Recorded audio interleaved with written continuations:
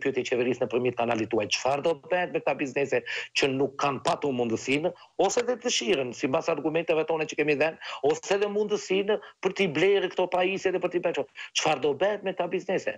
Neve kemi marrë një, kemi marrë një premtim që ai edhe neve këtë e shikojmë një premtim fare, fare të thatë dhe fare kot që nuk do penalizojnë ata që do gabojnë për atë çështjen e ndërlikimit të sistemit dhe thanë që deri më datën 30 dhjetor të dy mijë e njëzet e njëit nuk do ketë penalitete derisa, por për këta që nuk i kanë instaluar, nuk e dimë fare se me çfarë masash administrative, me çfarë masash gjobash do dalin, por e dimë, kemi, e kemi më se të qartë, nuk dimë shifrën, po dimë që do jenë gjoba shumë të majme dhe shumë penalizuese për biznesin e vogël dhe të mesëm, që do jenë një shkatërrim dhe një një një kapitullim Për këtë shtresë, që thashë edhe më sipër, që është shtresa më vitale, është shtresa nëntëdhjetë e pesë për qind e biznesit të vo, shqiptar është biznesi i vogël dhe i mesëm, jemi biznesi që kemi punësim dhe vetëpunësim më të madhin në çdo në çdo në çdo aktivitet, jemi shtylla kurrizore dhe jemi neve duhet të na shikojë qeveria si aset kombëtar,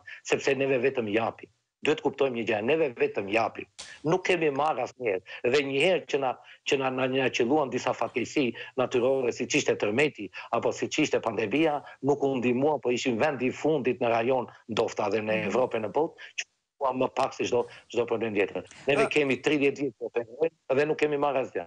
Ndërkohë, do të ndalemi pas pak dhe te bizneset që kanë falimentuar përgjatë atyre muajve të fundit, për të ndalur pak te shifrat, po përqendrohemi pak te kasat, që është një nga elementët, apo jo, të këtij procesi, zoti Muço.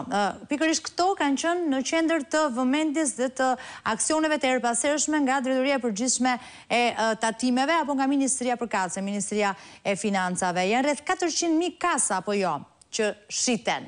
Duhen kasa dhe kasat e reja. Kasat e vjetra nuk hyjnë më në punë, apo jo?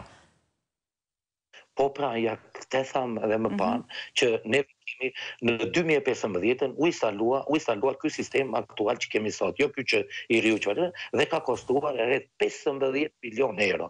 Të gjitha këto janë paguar nga taksapaguesit shqiptarë, nga biznesi por dhe nga të gjithë taksapaguesit shqiptarë. Dhe thamë që ky sistem Dhe atëherë, neve e kemi e kemi e kemi komentuar dhe kemi dhënë argumentet tona që edhe atëherë ishte pak i ndërlikuar, po sido që të ishte, prapë thamë se do japë një efikasitet. Ikën, pesëmbëdhjetë milionë u hodhën në kosh të plehrave, u hodhën, janë taksat tona ato që u hodhën.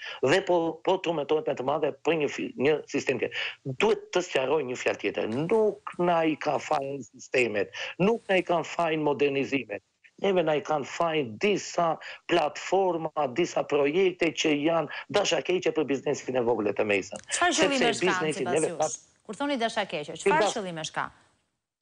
Sipas, sipas, sipas neve, që unë mund ta them edhe në emër të shoqatës, sepse jam drejtues i shoqatës, sipas neve dhe janë dhënë edhe faktet, me një fjalë, qëllimet janë që biznesi i vogël dhe i mesëm të falimentojë. Duhet të dini që rreth Pesëmbëdhjetë vjet më parë operonin në Shqipëri njëqind e nëntëdhjetë e gjashtë mijë biznese të vogla dhe të mesme.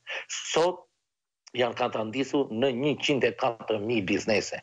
Kanë falimentuar rreth nëntëdhjetë e katër nëntëdhjetë e pesë mijë biznese. Nëse kanë falimentuar. Nuk flasim çështje konkurrence. se konkurrenca është fare e vogël këtu në Shqipëri. Kanë falimentuar vetëm nga këto sisteme dhe nga këto platforma të gabuara që kanë ndjekur qeveritë në vazhdim, por sidomos qeveritë.